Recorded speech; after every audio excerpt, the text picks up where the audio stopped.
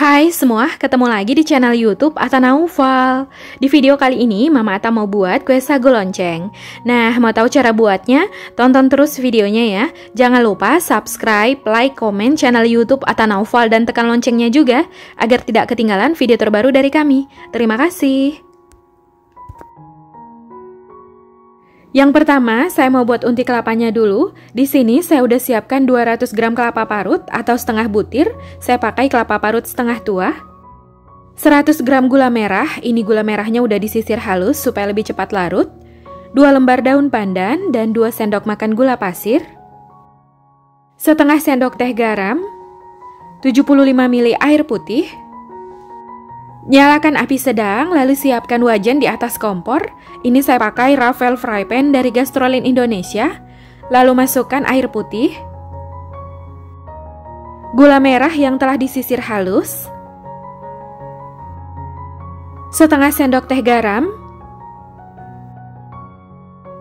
dua lembar daun pandan, 80 gram gula pasir atau setara dengan 5 sendok makan cembung, Kemudian ini dimasak hingga gulanya larut dan airnya mendidih.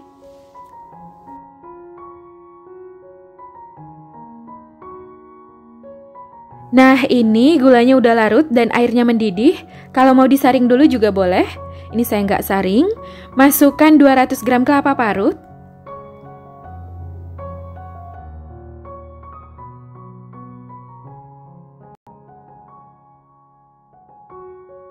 Kemudian masak sampai airnya meresap ke kelapa parut atau sampai kelapa parutnya kesat sambil terus diaduk agar bagian bawahnya nggak mudah gosong.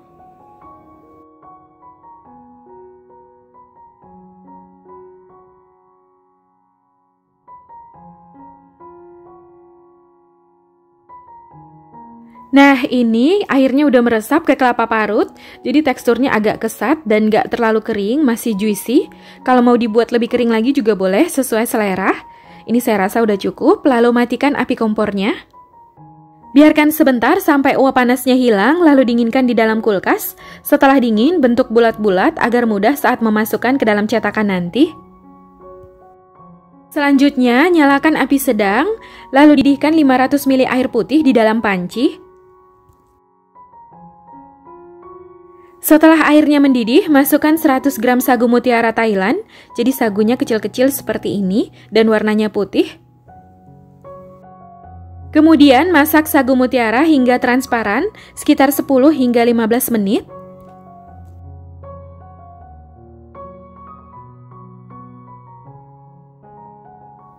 Setelah sekitar 15 menit dimasak, ini sagu mutiaranya udah transparan semua.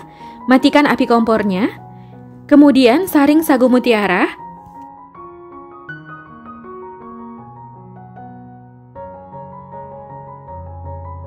Setelah disaring, bilas sagu mutiara dengan 1 liter air putih. Tujuannya dibilas untuk menghentikan proses memasak sagu mutiara agar sagu mutiaranya nggak hancur.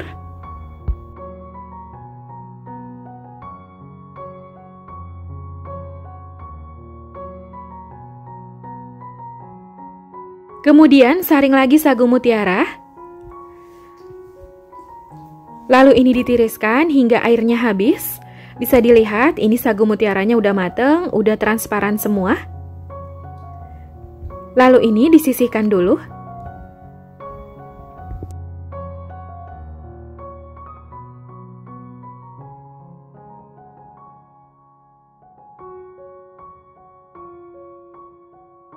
Siapkan wajan atau pan, masukkan 80 gram gula pasir atau setara dengan 5 sendok makan cembung, setengah sendok teh vanili bubuk dan seperempat sendok teh garam,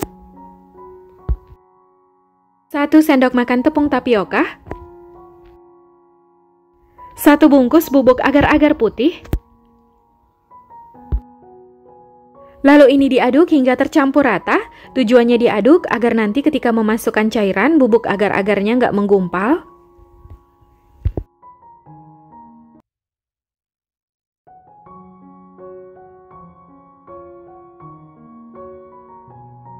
Kemudian masukkan 225 ml santan ke kentalan sedang, setengah sendok teh pasta pandan atau secukupnya, Lalu ini diaduk hingga tercampur rata.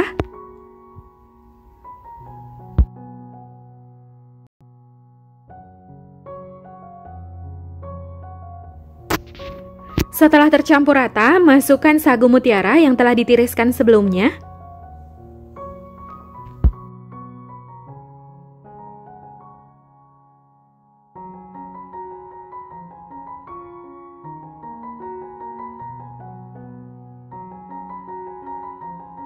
Lalu ini diaduk lagi hingga tercampur rata.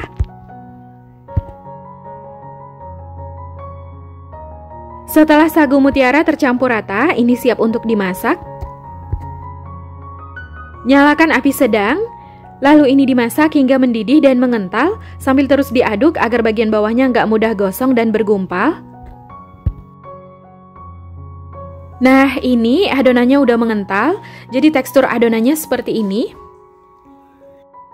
Dan adonannya udah mendidih, meletup-letup seperti ini, tandanya udah mateng.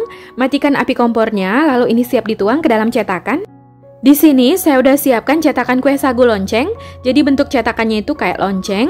Kalau nggak ada, boleh pakai cetakan kue talam. Hasilnya nanti kuenya lebih kecil ya, karena cetakannya lebih kecil dan hasil kuenya lebih banyak. Sebelumnya, ini cetakannya udah saya olesi dengan minyak goreng, diolesinya tipis-tipis aja. Dan ini unti kelapanya udah didinginkan. Setelah didinginkan, ini udah dibentuk bulat-bulat kecil seperti ini supaya lebih mudah dimasukkan ke dalam cetakan. Dalam keadaan masih panas, langsung tuang adonan ke dalam cetakan. Ini dimasukkan sekitar 1 sendok makan. Kemudian masukkan unti kelapa yang telah dibulatkan. Ini agak ditekan sedikit, ditekan perlahan aja. Kemudian tuang lagi adonan sagu mutiara ke dalam cetakan sampai menutupi unti kelapa dan sampai cetakannya penuh.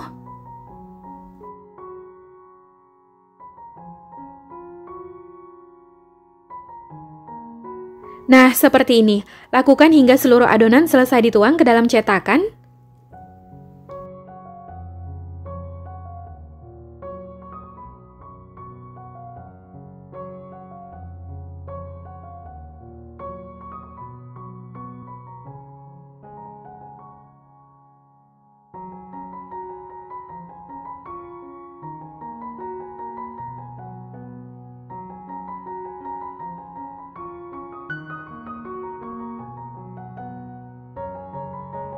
Nah, ini seluruh adonan udah selesai dituang ke dalam cetakan. Dapatnya 12 cetakan sagu lonceng dan ini siap untuk dikukus. Sebelumnya, saya udah panaskan kukusan dan ini air kukusannya udah mendidih. Lalu masukkan cetakan berisi adonan. Kemudian ini dikukus sekitar 20 menit menggunakan api sedang. Jika menggunakan tutup kukusan yang datar, jangan lupa lapisi tutup kukusan dengan kain bersih supaya uap air nggak menetes ke adonan.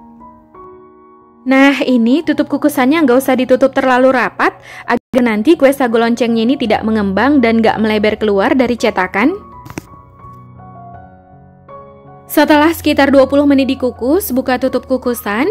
Ini kue sagu loncengnya udah mateng, lalu angkat dan keluarkan kue dari kukusan.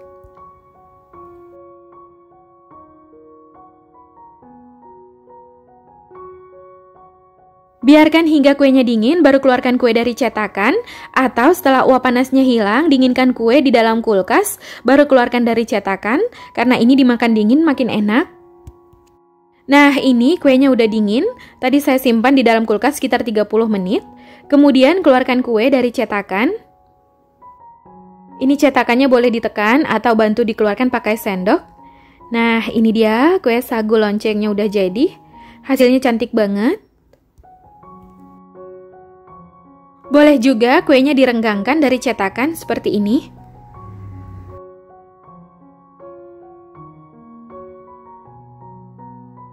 Nah, ini dia kue sagu loncengnya udah jadi. Hasilnya cantik banget dan warnanya juga bagus. Sekarang saya mau cobain kue sagu loncengnya.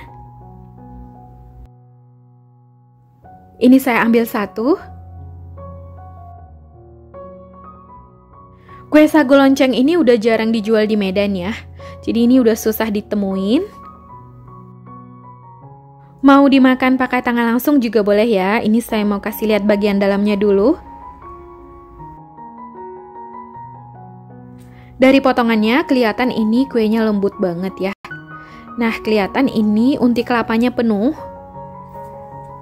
Kuenya lembut banget dan sagu mutiaranya mateng ya. Tekstur kuenya ini sedikit kenyal dan ini lembut banget ya. Bismillah.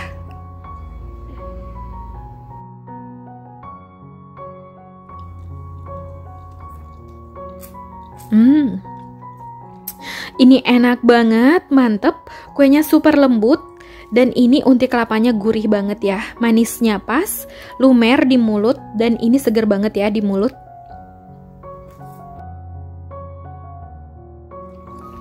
Kuenya lembut banget dan unti kelapanya ini gurih, krenyes-krenyes, manisnya pas. Ini seger banget ya di mulut. Ini enak banget, mantep, recommended.